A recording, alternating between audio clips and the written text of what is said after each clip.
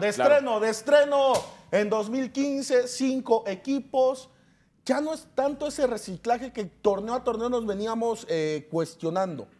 Decíamos que eran los mismos. Es- son dos Hoy apuestas se de- refresca la liga. ¿Con quién iniciamos? Iniciamos Con Pizzi, ¿no? No, iniciamos con. O sea, de los que no habían elegido abecedario, la con América. la corona, ¿no? Vamos a iniciar Bueno, con la con corona la. Pero de Matosas Con creo que ya se ha hablado mucho. O sea, hay que ver a Pizzi con un equipo que dejó caminando Pero si lees la orden Matosas. aquí, primero te puso el productor Ah, bueno, Matosas. ver, es que luego ya no le haces caso al productor, entonces dije, Ah, bueno, ese es tu problema. No, tú. Nosotros sí le hacemos caso al productor. Ah, sí. Nosotros sí. Sí, porque muy nosotros es a los que nos encierra una hora y media después de cada programa. Ah, los Sí, dejas no, y se pone que no, No, que sí, que no. Tú no, pero tú Los como eres encerrados. como los señores Los son llegan, imagínate. agarran sus cosas y se Imagínate, van. sí, sí, sí, sí. bueno, empezamos con Gustavo Matosa. Sí se ha hablado mucho. Eh, ayer mismo en el total decíamos, eh, tal vez no sea referencia a lo que pasó el sábado en, eh, con el América, pero que por supuesto la- las miradas van a ser más positivas. Después de que tu equipo hace cinco goles, como sea, en pretemporada, contra un equipo que también está en construcción, que ibas perdiendo uno se- o, eh, 2-1, pero que a partir de tu refuerzo le da la vuelta, este tipo como que va a trabajar la semana más tranquila, porque partido a partido se le va a fiscalizar. Mira, yo creo que la diferencia de, hablando de las llegadas de tres, de tres técnicos diferentes a esta América, cuando llega Miguel, la bola de problemas que tenía, que era un equipo que venía a la baja, que Miguel rescata porque supone que en ese momento eh, toda la plantilla estaba, estaba eh, transferible. Lo que pasa con Mohamed, que creo que es al que más trabajo le costó, porque venía de un equipo que venía de ser campeón, un equipo que venía de ser subcampeón después, que venía jugando bien y que todos jugaban bajo un esquema distinto al que Mohamed planteaba. Creo que Matosas la tiene más sencilla hoy, porque más allá de que viene de, de agarrar al campeón, los futbolistas que llegan son de diferentes equipos todos Pero, y ver, traen un esquema es más distinto. fácil. Es más fácil trabajar con alguien así, a, a trabajar con alguien que viene entrenando tres o cuatro torneos a con el diferencia mismo de su antecesor de Mohamed, que llegó y dijo en aquel diciembre del 2013, vamos a darle continuidad. Aquí él, es a que- ser campeón y encontrar un equipo campeón, nunca habló de continuidad. O sea, siempre antepuso ante Su eh, estilo, su su estilo. Estilo, es que es lo Y que te digo, ve- es más, es más, eh, más fácil para Matosas hoy que lo que se la- encontró Mohamed. La referencia de, pero a ver, nada más, y te pongo un ejemplo. La, la alineación del sábado. ¿Cuántos eh, jugadores de, que no dirigió Mohamed alinearon o que no eran continuos?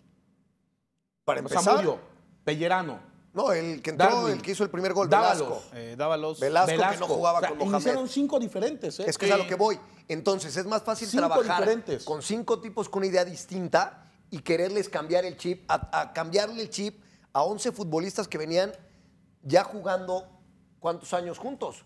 Por lo menos cuatro torneos juntos. Para Mohamed era más complicado intentar cambiar primero a línea de cuatro, porque era un equipo que siempre jugaba con línea de cinco. Luego lo hace Mohamed y hoy Matosas toma un equipo con una misma línea de cuatro que él Exacto. trabajaba en León. O sea, creo que hoy es más fácil para este hombre porque los refuerzos, más allá de si los pidió él, si no los pidió él, si eran parte de la, de la, de la relación que había con Mohamed, algunos de ellos que venían de Tijuana, pero son futbolistas que traen una idea distinta a diferentes equipos y que es más fácil ponerlos a trabajar sobre la misma línea. Pero además de esa idea, Gus, también Mohamed, y creo que, no, no sé si coincide conmigo, pero creo que era evidente, amarraba a muchos de esos futbolistas por su estilo de juego, ¿no? Por su manera de primero tratar de defender bien y luego ver es cómo que este atacamos. equipo, si lo suelta, eh, Por eso. Matosas va a volar. O sea, lo que vimos Pero el no, otro día con lo va a soltar, Darwin, es obvio que lo va a Benedetto, soltar. Zambuesa, este, Pellerano. el mismo Martínez, que no estaba, no, pero bueno, Pellerano, desde bueno, atrás, con Paul Aguilar, que va y viene, va y claro. viene, ¿no? ¿Y qué es lo que quiere, lo que va a intentar él hacer con Samudio? Así va a jugar. Sí, lo, lo que pasa es que es el, el siguiente paso, ¿no? Cuando tuviste un equipo defensivo que te sale campeón del fútbol mexicano, pues ahora quieres revertirlo, ¿no? Quieres un equipo que vuelva a salir campeón, pero que sea ofensivo, ¿no? Que le guste a la gente, pero- que es lo que trata de pero- buscar Ricardo Peláez y la directiva. O sea, que, le- que el equipo le agrade a- al ojo. Ahora, lo de Monterrey evidentemente no puede ser parámetro, ¿no? Es un No juego es de preparación. parámetro. Monterrey viene Pero sí algunos de sus cómo- No, pero apenas de lo que va a buscar el América, Lo que ¿eh? a mí me O sea, sorprendió... el famoso la cobija, que si la cobija me destapo los pies y, y, Me tapo la cabeza, y me tapo la la cabeza, prefiero destaparme Sí. los pies. Así lo hizo. Lo, lo que porque sorprende de perdiendo, Matosas no es que gane 5-2. Cuando le da la vuelta al marcador, insisto en la referencia, ¿a quién empieza a meter? A Benedetto, saca a Moy Velasco y empieza a hacer los cambios ofensivos, apostar por ser ofensivos. Pero es que además- La pregunta es, ¿hasta cuándo le va a dar resultado? Sí, ah, yo creo que a la larga el equipo puede jugar mucho mejor de lo que le vimos en Monterrey, es más que lógico. Acá lo que a mí por lo menos lo que me sorprendió es que parecía que Pellerano, que Benedetto, que Quintero, que el Que propio Oribe Peralta, que Zambuesa llevaban tres o cuatro temporadas jugando juntos. Atrás no tiene ningún problema, porque la línea de cuatro defensivamente, o Hay está tres. Marmaro o está Zamudio, pero hay tres de los que fueron Sí, campeones. Sin contar a Paul Aguilar, que bueno, pues es mejor lateral derecho que hay en el fútbol Y- mexicano. Y yo creo que es de los mejores laterales derechos en América. En Y- América, ¿eh? y la No en el club, defensiva- en el continente. La defensiva también puede tener su sello, que ahí es donde ganas campeonatos, dicen, ¿no? O sea, no, no va a dejar de defender. Mira, yo creo que es acá una el, clave. tema, acá el tema y, y sobre lo que tendríamos que fijarnos en este, en este nuevo técnico, en, Ricardo, Ma- en Gustavo Matosas, es qué tanto le va a alcanzar esa ofensividad que tenía con el León, que hay que ser sinceros, tenía uno de los mejores delanteros de, de México, el equipo de León. Es los últimos torneos e incluso cuando sale campeón en el último torneo califica de milagro a la liguilla, recordando. Es qué tanto este hombre puede tener un juego ofensivo vistoso eh, que agrade a la tribuna, Estoy de etcétera, acuerdo. A ver, y que sea pero pese- líder general. O sea, hoy creo que el América es un equipo mucho más poderoso que el que tenía Mohamed. No sé qué tanto los hombres que están de medio campo por arriba tengan labor de regreso y recuperación, porque lo que llegó a tener en su momento con, con Miguel, con Medina, y después lo que llegó a tener con el mismo Osvaldo Martínez y con Pero- el mismo Molina, ¿no? Ah, Pero ahí Que- está el error. Molina a ver, era el ahí- contención. ahí está el, el error que yo veo. Eh, Te pasa igual que Peláez, te pasa igual que todos. Endiosan a Miguel Herrera. Lo de Miguel Herrera ya fue. No, no, no. A lo que voy Ya es que hoy veo más poderoso. Veo más poderoso a este equipo que el que tenía Mohamed. Pero lo que veo es que es muy poderoso al frente, pero no veo a un pellerano que pueda, con la experiencia que tiene y, y- y- y todo lo demás, que sea el hombre que tenga el ida y vuelta que tenía el Negrito Medina o que tenía Molina en su momento, ahora con Pero Mohamed. tampoco. A ver, Molina nada más. Yo recuerdo que terminó siendo suplente con Miguel Herrera.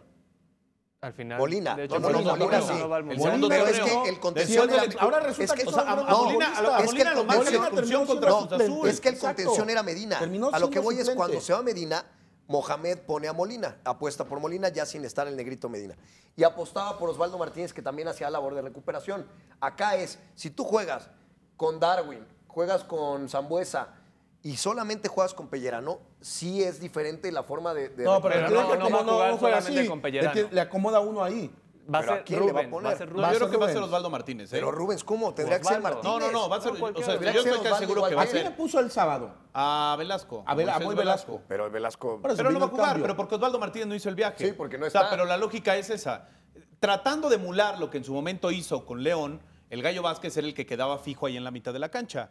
Misma situación que va a Pero ser es con, que, es Pellerano. el recorrido de. y el que es le daba es la que salida, decía, seguramente. Sí. La recuperación de un, de un gallo Si Vázquez estás no lo hablando tiene que tienes- nadie en México. ¿eh? estás hablando que es un tipo un- que te cubre las dos bandas sin ningún problema. Tienes un contención de 32 años, como lo es Pellerano. Pero es que lo que te voy a decir es la una cosa, es para un chaval Sí, Pellerano no. como Si para América sigue con, con esta inercia o continúa a tener esa inercia, nadie va a hablar de los errores defensivos.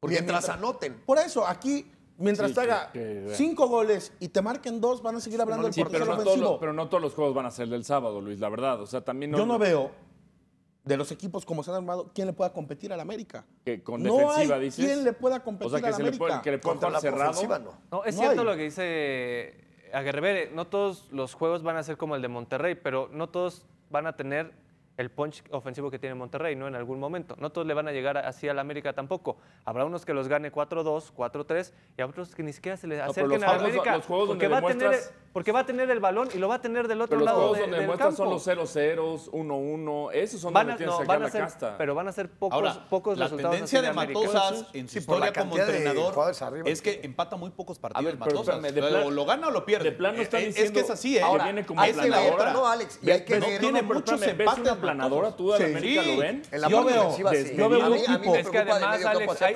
tiene banca. O sea, detrás de, de Darwin, ¿a quién puedes poner? Si, si Osvaldito no juega de contención, si juega Rubens, pon- Juega pon- Osvaldo por pones a derecha. Osvaldo por derecha. Del otro lado, Zambuesa, tienes a este chico Mina. Lo que les preocupó Sí, Arroyo, fue que- Arroyo, Arroyo, Michael Arroyo, Arroyo. Arroyo, Arroyo. Lo que les Mina, preocupó ¿dónde en el campeonato fue la defensiva, ¿no? También sigue en Atlante. Sí, sí, La no, defensiva Arroyo. punto Los débil. confundí. Pero Sí. también América, o sea, estadísticamente, si nos vamos a los números, lleva muchos torneos siendo una de las Ahora, mejores defensivas. oh, ya- y nada más para terminar, Y ¿eh? no recibe tanta- tantos El- goles y sí tiene una buena El cantidad conteo donde yo me quedé, el entrenador hasta junio del año pasado, en los últimos tres años, que más futbolistas había debutado es Matosas. Yo me quedé en el conteo con 18. 18. Sí, sí, que sí, hicimos. sí. Órale. 18 futbolistas. El sábado le da el chance a Dávalos, ese chico Dávalos, que hace un gol y que tal vez eso hace, pero le va a empezar a, a dar eh, juego a, lo- a- a la cantera. Y él mismo sabe, no todos van a llegar. Ahora, el América tiene, hoy tiene dos torneos importantes, y lo decían ellos, ¿no? O sea, vamos por el Mundial de Clubes ganando la, la Conca Champions y vamos, por supuesto, por repetir el bicampeonato, que creo que a la directiva, siendo sinceros, hoy le preocupa más o le interesa más ser bicampeón que la Conca Champions. Que tiene ver. plantel para ganar la Conca Champions sin lo problema. van a hacer. Ahora, si se ponen serios, ¿no? Pues bueno, dejamos el tema de Gustavo Matosas, quien tomó su puesto en León, Juan Antonio Pizzi. Y que juegan el- en el primer partido. y que, y que se enfrentan en el primer partido. Jugó en México en los 90 Juan Antonio Pizzi, mundialista con España en Francia en 98. No, y que nos tocó verlo eh, campeón con San Lorenzo. Que, eh, eh, pero tampoco era lo espectacular. Yo no veía un San Lorenzo Que tan ese espectacular, paso ¿eh? por Toluca cuando era delantero quizás sea lo único que tiene de México, ¿eh? porque no tiene, no, No, tiene no, más. nada, no. Y, y no porque no, no haya información ni Fue en campeón internet. ya en Chile. Sí, Fue campeón de liga En en, Ar- Argentina. en uni- con universidad. con Universidad Católica.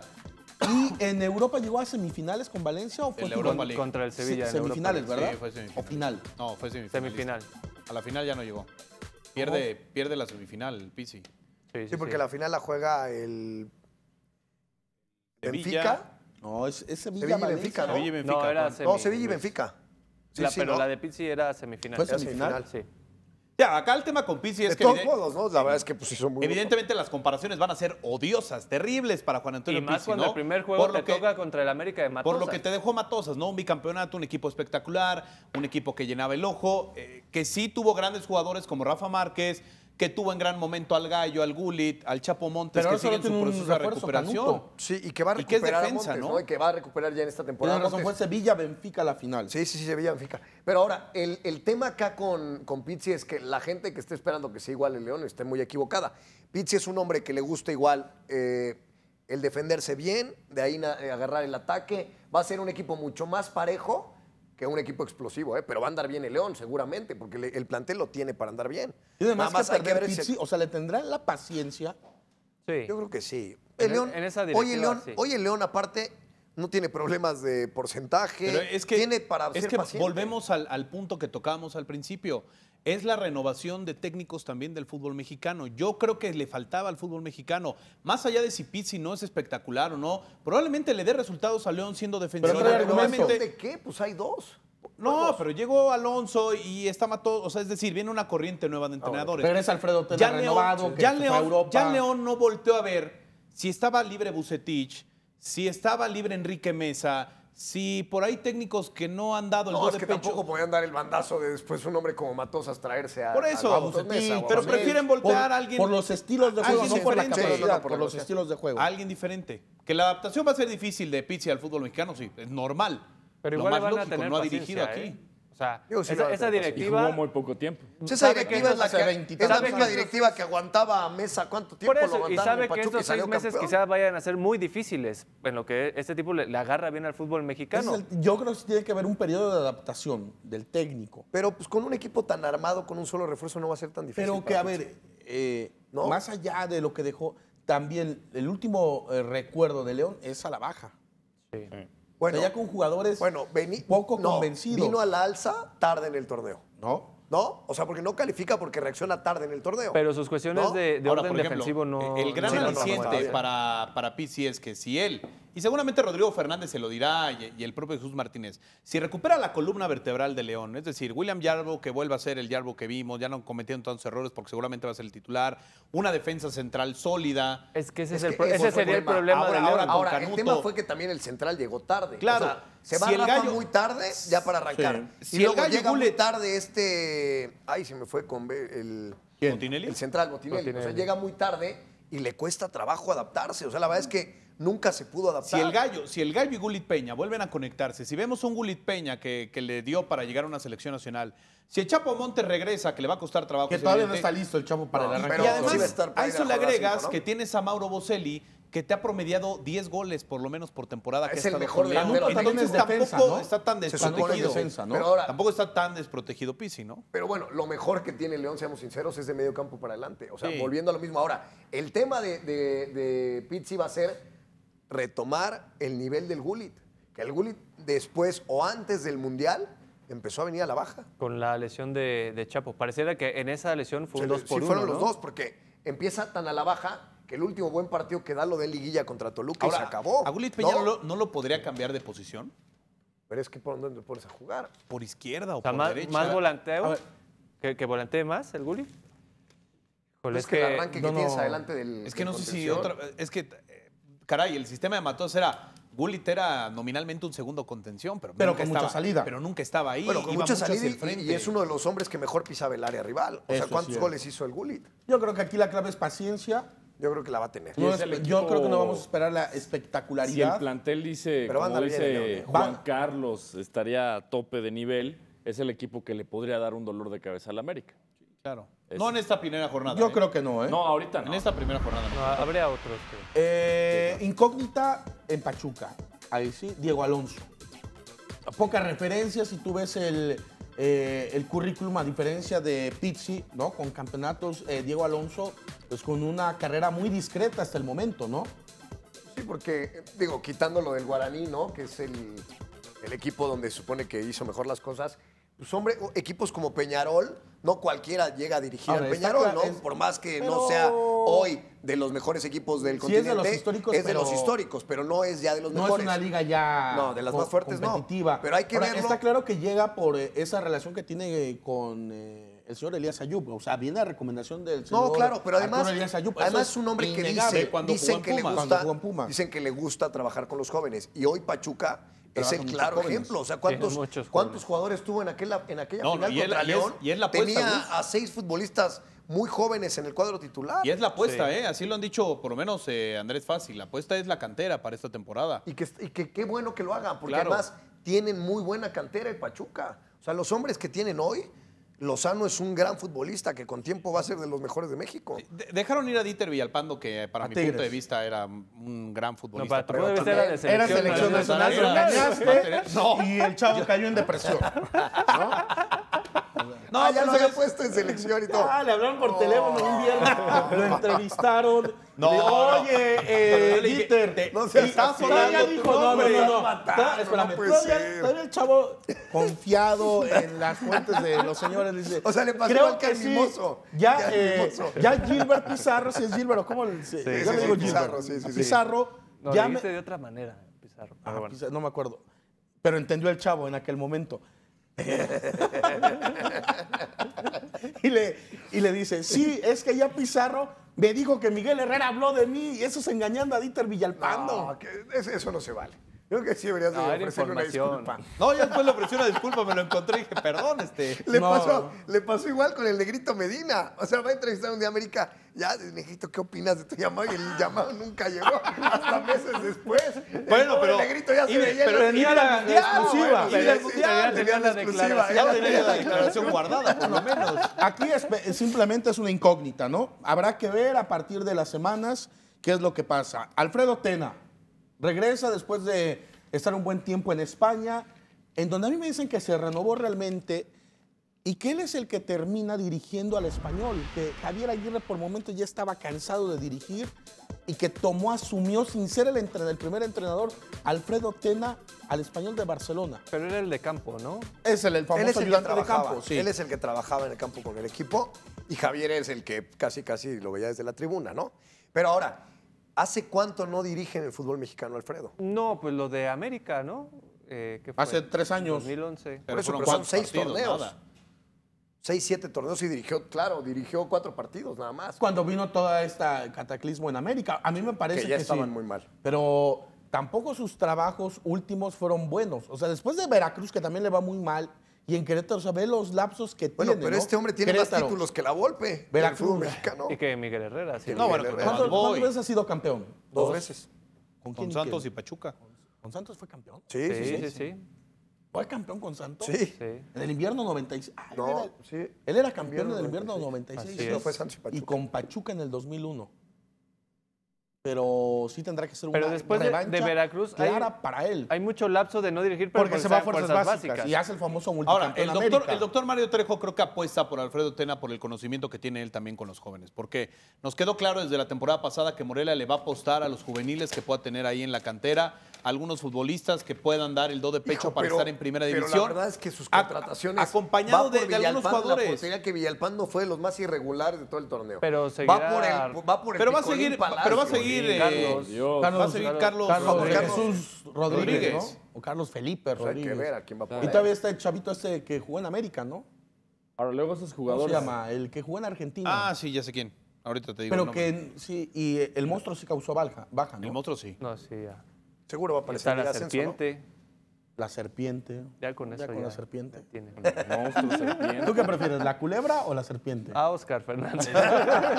Estarán Picolín y Wiki en la central. Ah, esa central va a ser de Ahora, terror. no se les O sea, olvide, monstruo, está en serpiente Libertadores, Morelia.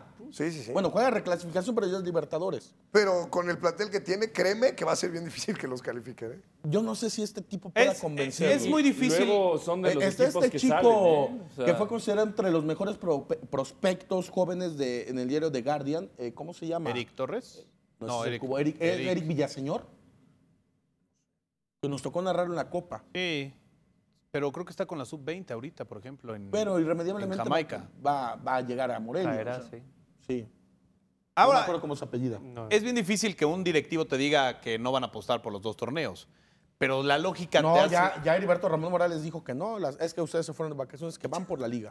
Ah, pues Es es, que, que sí. pues es que es lógico. Hoy o sea, no, tiene no- que ser- no es lo tiene que- Atlas, caso. en el caso de Atlas, ¿eh? Pero es lo que te digo. el- lo- lo- yo, yo, por más que vea que la directiva quiere apostar por los dos torneos, no le va a alcanzar porque tampoco el plantel lo tiene. O sea, aún en el torneo anterior, que se habían ido algunos futbolistas, todo decíamos, ¿tiene plantel para qué el Morelia?